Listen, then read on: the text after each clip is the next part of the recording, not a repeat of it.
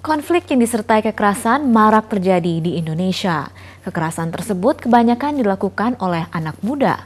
Menurut budayawan dan pengamat sosial Romo Muji Sutrisno, hal tersebut akibat krisis keteladanan dan terkikisnya budaya di masyarakat. Reporter Mahfud Effendi mewawancarai Romo Muji di sela-sela acara Borobudur Writers and Cultural Festival 2012. Ya, sebenarnya kan kita tuh kurang sekali ranah-ranah atau ruang-ruang di mana mereka ini diorangkan gitu loh. Ya. Jadi keteladanan yang saling beri contoh bahwa hidup rukun itu lintas agama saling berbeda itu kuat sekali saling menghormati itu kosong sekarang. Yang kedua mereka ini kan generasi muda yang penuh energi kuat sekali. Tapi coba sekolah-sekolah yang tidak punya ruang lapangan, ya kan, tidak punya tempat untuk apa seni dan segala macam kebudayaan lah, ya. Itu lalu mereka larinya juga ke jalanan, ya.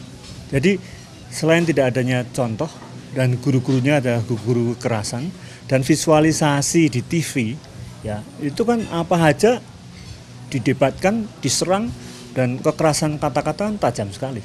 Nah itu setiap hari menjadi makanan mereka. Bagaimana mereka akan menemukan itu ruang di mana mereka bisa katakan hidup rukun Indonesia yang dulu diciptakan oleh pendiri bangsa yang menyatu dan saling rukun ini minim sekali. Hidup dalam perbedaan ini harus dimulai lagi untuk nol.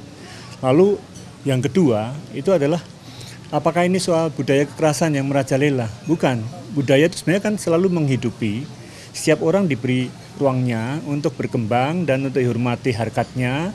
Bahkan kalau Gus Dur almarhum mengatakan setiap manusia Indonesia entah sukunya beda, agamanya beda, dia punya harkat yang harus dihormati.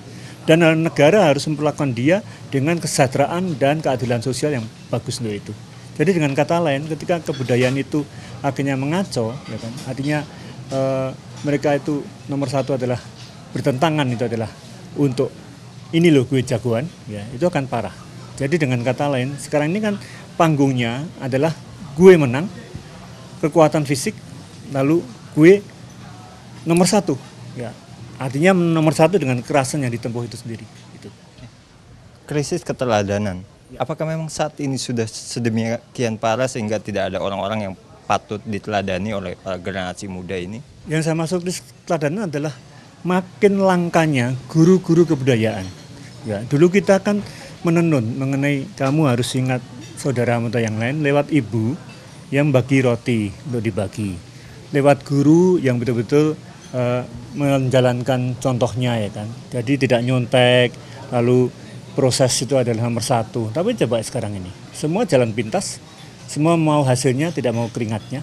Ya, jadi kita tuh krisis keteladanan budaya, keteladanan nilai-nilai, dan yang terjadi adalah anti kehidupan Ya, jadi budaya yang kita hidupi sekarang ini adalah budaya yang anti kehidupan. Jadi bukan budaya yang mengutamakan kehidupan, ya, tapi dead culture. Dead culture itu kan budaya kematian, kekerasan dan semua. Dan ini dipacu terus oleh visualisasi yang istilahnya bad news, ya, kabar buruk atau tayangan yang paling lebih sadis, lebih sadis lagi itu nomor satu. Nah dalam kondisi kayak gini, itu sekolah-sekolah mengenai penanaman nilai, mengenai sekolah humaniora segala macam akan kalah tanda petik kita. Laporan tersebut sekaligus menutup perjumpaan kita dalam Asia Calling. Terima kasih Anda sudah menyaksikan. Kami undur diri dan sampai jumpa pada Asia Calling berikutnya. Asia Calling, your window on Asia.